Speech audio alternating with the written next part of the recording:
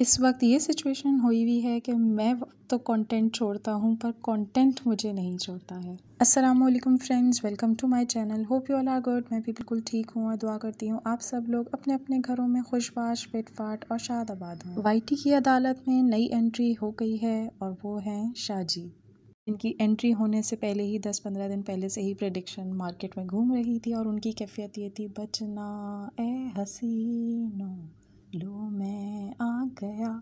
हालाँकि आए हैं तो उन्होंने ये इजहार किया है, इस तरीके से अपनी बात का न छेड़ो हमें, हम सताए हुए हैं। और हेटर्स ये सेहरा भी हमारी सितारा जी के सर पर रखेंगे, क्योंकि सभी यहाँ पर सितारा जी के सताए हुए हैं, बाकी सब तो नहाए धोए हुए हैं। और वैसे इन लोगों के पास नए स्क्रिप्ट्स बिल्कुल नहीं हैं, या हर एंट्री जो लेकर आते हैं, वो इजहार इसी तरह से ही शुरू करता है, वो अपना मुद्दा इसी तरह से ही लेके आता है कि न छेड़ो हमें, हम सताए हुए हैं। और वो मतलब बात करते भी हैं, साफ़ कहते भी नहीं, साफ़ छुपते भी नहीं। और सबसे बढ़कर ये वाईटी पर ही आकर अपना शोशा छोड़ते हैं और साथ साथ ये भी कहते रहते हैं, हमें वाईटी का शौक़ नहीं, हमें व्यूज़ की तो बिल्कुल ही परवाह नहीं। फेम हमें चाहिए नहीं, हम तो बस ऐसे ही टहलते हुए इधर आ निकले थे तो सोचा कुछ बातें करते चलें। अब इनका ड्रामा कितने दिन चलेगा, इसका तो हमें बिल्कुल भी आइडिया नहीं है। बस हम ऐसा व्यूवर और सब्सक्राइबर यही कहना चाहते हैं, ना छेड़ो हमें, हम सताए हुए हैं।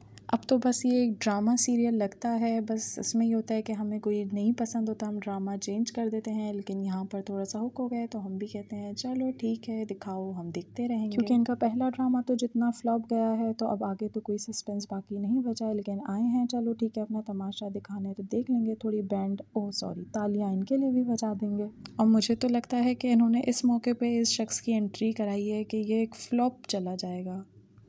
चलें, देखते हैं आगे क्या होता है। लेकिन एक बात आपसे शेयर करूँ तो मुझे भी थोड़ी थोड़ी खुदबुद होने लगी है इन आयशा इकराम के बारे में कि आखिर ये हैं कौन? कहाँ से आई हैं? किधर से आई हैं?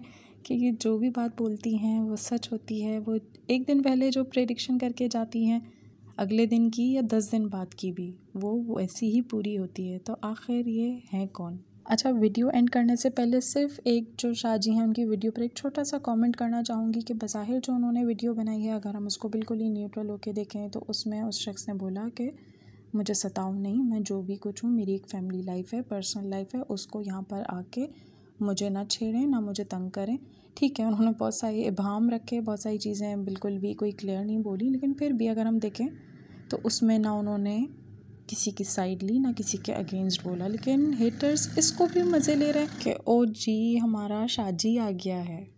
लेकिन पहले जो बहनोई जी ने जो भी कुछ किया कि यानी कि उछल कूद मचा मचा के, ये ला रहा हूँ, वो दिखा रहा हूँ, ये कर दूँगा और वो कर दूँगा। और उसके बाद वो फुस हो गए। तो अब ये दूसरे लाए हैं, देखें ये कहाँ तक चलता है।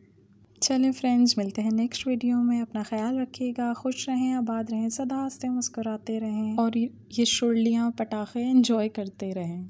अल्लाह हाफिज़।